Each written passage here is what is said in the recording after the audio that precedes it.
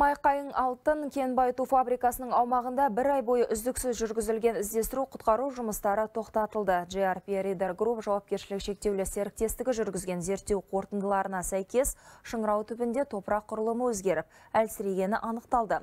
Сондай-ақ терең шұңқырлар мен қуыстар бары белгілі болды. Бос кеңістіктерге топырақты қазып жатқан экскаватордың құлап кету қауіп артқан. Ол жерде тау-кен іздестіру құтқару жұмыстарын жүргізу адам өміріне қауіп төндіріп тұр. Осыған байланысты апаттың барлық периметрін тексеру үшін және іздестіру құтқару жұмыстарын жалғастыру немесе тоқтату үшін қорытынды шығаруға арнайы сарапшылар тартылады. Дегенмен Павлодар облыстық төтенше жағдайлар департаментінің барлық күштері мен құралдары жұмыс жүріп жатқан аумақтан кеткен жоқ.